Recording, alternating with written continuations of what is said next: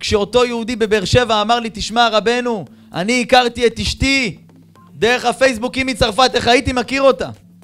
אמרתי לו, נשמה טהורה, 40 יום קודם יצירת הוולד, כבר בת פלוני לפלוני כבר נאמר עם מי תתחתן, אבל אני אגלה, אגלה לך סוד שכותב אותו הגאון מווילנה. אני רוצה שתדעו אותו היום. שימו אותו בכיס, זה יסוד לכל החיים. אני מאמין שכולכם רוצים להתפרנס, נכון? רוצים פרנסה? רוצים או לא? יש פה רווקים ורווקות, רוצים להתחתן? יופי. יש פה נשואים, רוצים שלום בית?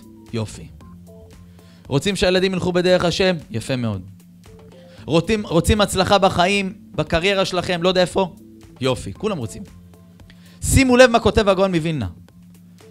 בואו ניקח דוגמא את הבחור מבאר שבע, עם הפייסבוק והבחורה, אשתו, מצרפת. איך הוא הכיר אותה דרך הפייסבוק? היא מצרפת, איך, איך הייתי מכיר אותה, הוא אומר. חוץ מהגמרא במסכת סוטה, ש-40 יום קודם יצירת הוולד, בסדר, אני, כתוב שאני זאת תהיה אשתי, אבל איך הייתי מגיע אליה? אומר הגאון מווילנה, כל דבר בעולם יש שני מסלולים.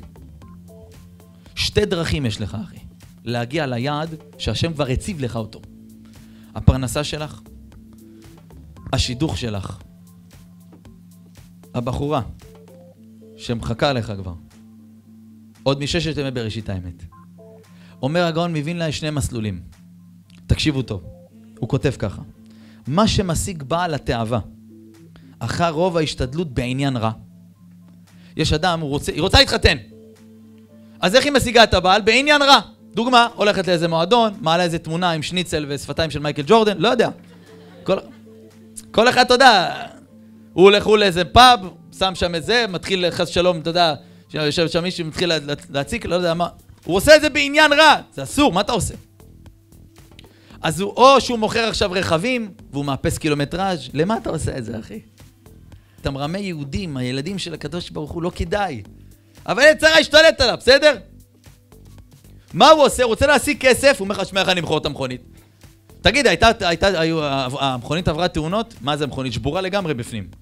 לא, סתם, כמה שריטות, בקטנה, אומר לו.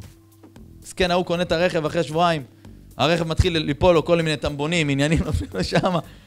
הוא רואה אותו מתחיל להתפרק, הוא מתקשר אליו, אומר לו, בואנה, מה קורה פה? הוא אומר, שמע, אני לא יודע, אני רואה אצלי הכל טוב. הוא משיג כסף בעניין רע, שימו לב, אבל גם בטורח ובעמל רב.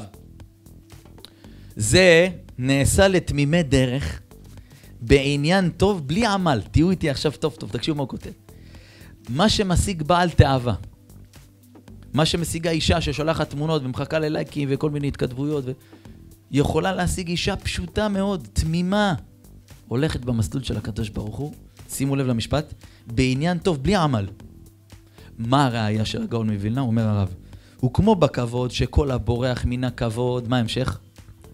הכבוד רודף אחריו. כך הוא בכל התאוות.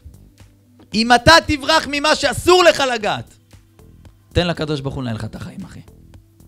כי אם אתה תברח מהכסף, אתה תברח מהאיסורים של נשים, או של גברים, או אני לא יודע מה, של רמאויות, גזל, גניבה, תברח מזה.